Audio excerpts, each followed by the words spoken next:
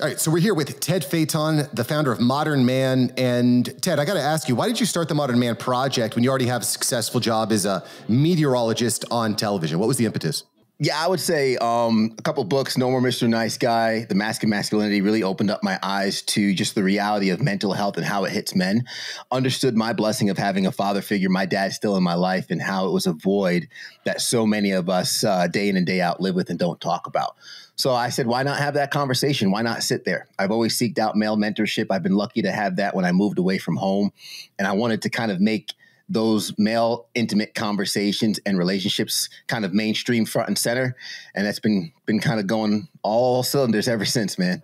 Dig it dig it. I mean you know listen everybody has problems and men are people too. And you know we definitely have challenges as a father. That was one of the impetuses for me to get started with the awesome dad movement was i wanted more dads to step up and play a part in fatherhood. I gotta say just a side note i would not expect to go this route but i just got off a call with someone and this guy made made a comment that really kind of ticked me off. I was like, okay. dude, what are you talking about? And I, so I wanted your your opinion on this. The dude dude says to me, um, so we brought on a woman onto our staff because who wants to buy from a business that's just two white men? Like, why hmm. would someone want to work with a business that's just run by two white men? Why would someone want to do that? I'm like, bro, we are two white men talking right now about being on a podcast together. So, what do you think about that? Do you think that there that maybe this feminism thing has gone too far? Give me a hot uh, take. I'll have to give you a hot take. I, if if you have results, I'm buying. That that's all. I don't care if you're black, white, yellow, Spanish. I, I don't care if you're guy, female. I, I, want the results, right? I'm buying the promise of the business. I do think we put too much credit and too much value on certain levels where okay, diversity is important. You can get a whole bunch of different perspectives, but if there's two white guys running a business, I'm not going to not buy from them because they're two white guys. If they have a successful portfolio, I'm buying from you. I don't I don't necessarily want to talk necessarily how feminine has impacted society because I think you have extremes on both sides. The extreme feminism might be a little too much. I'm not a fan of that. But when we talk about toxic masculinity, I think that goes too far. I think there's a lot of value for the masculinity that us as men have.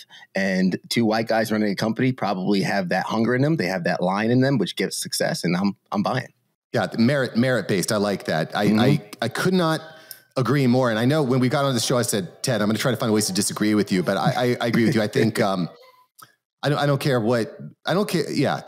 Who, who can do the job the best? I think that's important. And which might even actually be not human at all. It might actually be a robot, right? It might actually be AI that does the job the best, which means your attorney, you're fired, medical doctor, you're fired, writing staff, you're fired because I got this robot that can do everything better for me merit based. So tell me, Ted, as you're building out the Modern Man platform, again, you've got a primary job, you're building up this side hustle. How are you using AI to empower yourself, your team to get more done in less time? I think AI is helpful for some of those cognitive heavy labor processes, right? The planning process could be drastically reduced when you implement and use AI.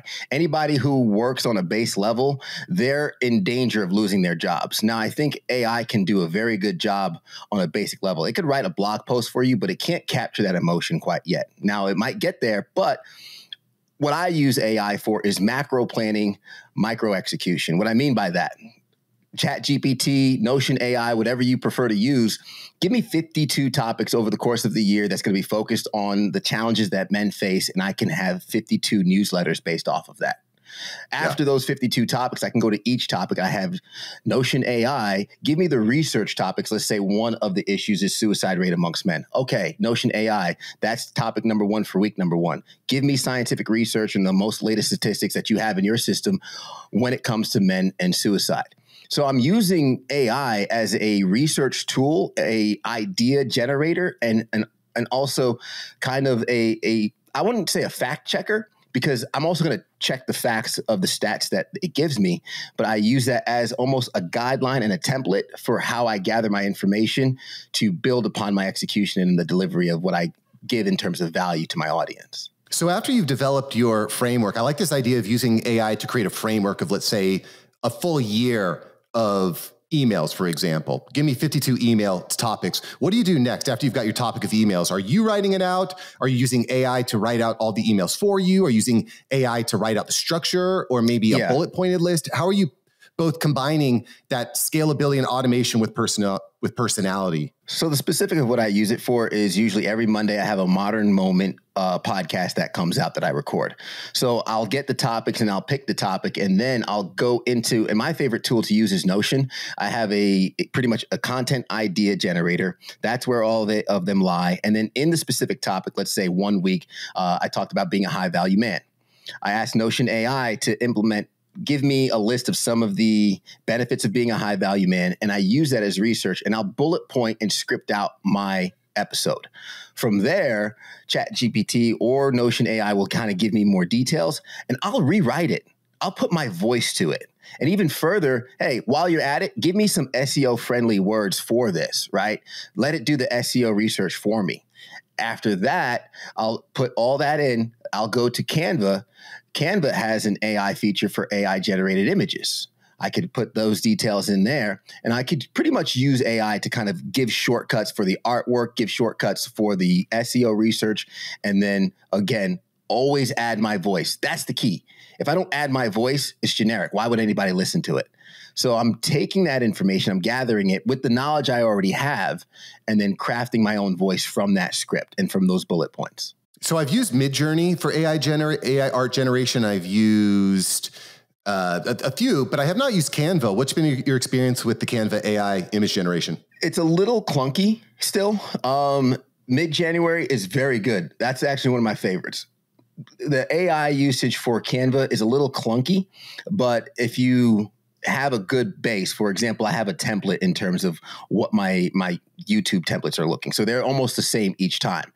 I could just tweak little uh, little nuances into what the topic is, and that'll give me a bit of a different picture for. Right now, I have my cover picture. It's usually a picture of me with the little white outline, things like that. I have different creative backgrounds that I add on to it. That's how I've used it. So they're still abstract in nature. But if you're looking for clean, some of the work I've seen you do, Mark, looks great I think you really need to get in the weeds with the program like Midjourney in order for that to really get what you want. Yeah, Midjourney, and, and yeah, that's part of the value of having a, a, a you know an, an, awesome team behind me and and all the systems that I built out over here at Mark Savant Media, and that's what we do. We turn Zoom calls into podcasts. Um, I, so I have a question here. I, th- I find it interesting that you're you know diving into Chat GPT, into Notion, into AI to help you develop out um, a program for what I would consider a more masculine man and you know embracing your masculinity and so on and so forth. I'm wondering if you've ever run into this hiccup because we were we were I was leading a mastermind group uh, a few weeks ago, and I had asked ChatGPT a question. I can't remember what the question was, but I asked ChatGPT a question, and then one of the team members said, "Hey, can you ask ChatGPT to write it in a more masculine tone?" Because he also runs like an alpha an alpha man brand um, you know, exercise, fitness, commitment to your family, personal responsibility, um, work hard, but also maintain, you know, a loving relationship with your spouse. All good stuff, I think, that yeah. I think is important for men. So we asked ChatGPT, could you rewrite this in a more masculine tone? And ChatGPT promptly responded back, well, I'm sorry, Mark, I cannot perpetuate pernicious and dangerous gender stereotypes. And we were like, what? Yeah. what? Have you ran into that where ChatGPT just goes like all soy boy on you? Yes. I, I have where you know I'm like, man, give it to me straight. You know, give me give me just the meat. I don't need the little dressings and everything. Give it to me straight. And Chat GPT it combats that. And and I also say I think what we're talking about is PC culture and keeping it real.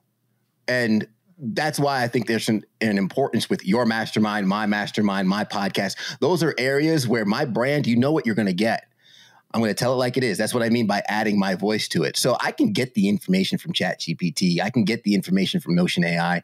I don't have to expect them to do that legwork because there is going to be a, a, a limit in terms of what they're going to do. I don't have to be PC when it comes to, and by PC, I mean politically correct. I don't have to be politically correct in my mastermind. I can be straight with the guys that I'm talking to. Right? That's on brand for what they expect from me.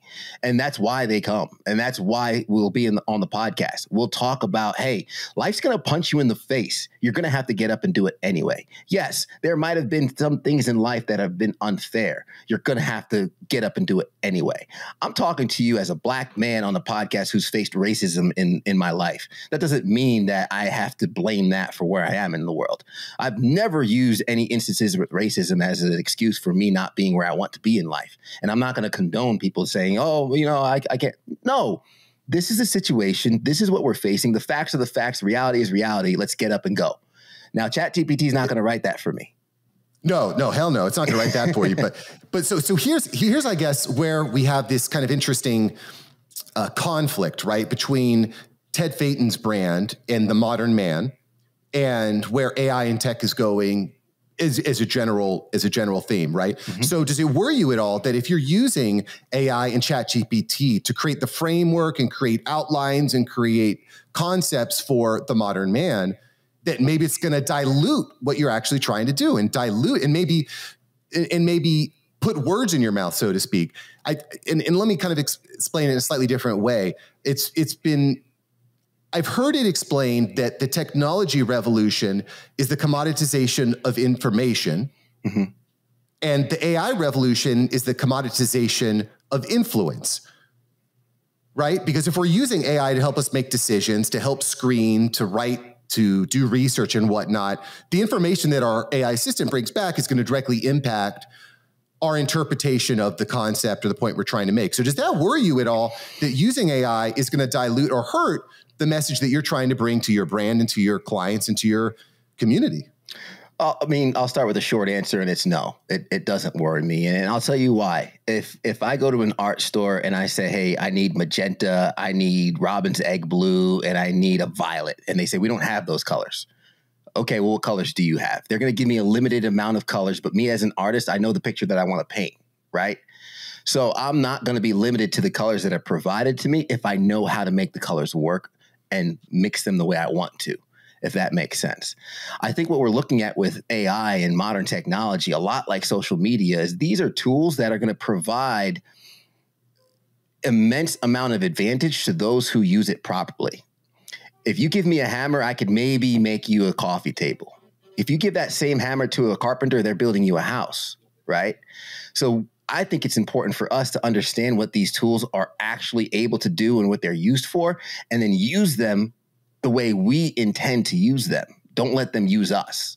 And that's what I think happens is the dangerous thing about AI, to your point, is some people could easily let AI use them.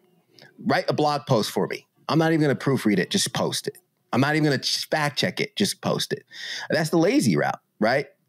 I know the intent of what I'm trying to say. That's why I use it for idea generation. Case in point, 52 ideas. Mark, I probably used 23 of them, less than 50%. Sure, sure. Right? But it gets my juices flowing. It gets my, oh, okay, now we're on a roll. It gets me started. And that's kind of what saves me that cognitive work of getting the ball rolling. The bus is on in motion. I can take it from here. So that's that's why I don't think I'm too concerned about it because what's ending up happening and what is going to happen is you're going to have a lot of voices sounding the same with AI, and those who are putting in that extra work and being authentic on top of the use of AI is who's going to stand out at the end of the day. I like that. Good point. It's definitely a really really powerful tool for fighting writer's block and people always ask me, Mark, whenever I'm a guest on podcast, I've guested on probably like two dozen podcasts in the past month and this question always comes up, Mark, if you had one piece of advice for the audience, what would it be? And I'm always, I always unequivocally say, spend 15 minutes a day using Chat GPT to solve your problems that you're facing in your life. Yeah. Unequivocally, unbelievably powerful. So before I let you go here, Ted, what is one piece of advice you'd give all the listeners today? Start, start. I think we spend a lot of time suffering in our minds, and that's what extends the suffering in actual action. We think it's too hard to start the podcast, too hard to start that business, or maybe you know you should do something for your business to increase sales, increase leads, things like that, and you're you're making it bigger in your mind. You're making a, a, a molehill into a mountain. So whatever it is you've been pushing on your calendar, whatever it is you've been kind of holding on for tomorrow or procrastinating about, just do it. Just jump in. It's going to take lo- shorter than you think it is, and it's not as big and scary as you think it is as well. Yeah, I don't know if Ted Phaeton said that or Nike said that. I don't know, but Just I like that. Just Yeah. do it. Just do it, baby. Just do it. Uh, Ted, where can we find you? Uh, you can find me at themodernmanpodcast.com. I'm on uh, social medias at the Modern Man Podcast on Instagram. We share all our reels, clips from our podcast, and uh, you can check out the Noble Knights Mastermind from there as well. And yeah, give me a shout. Would love to hear from you guys. Thanks for being here, Ted. Appreciate it. Thanks, Mark.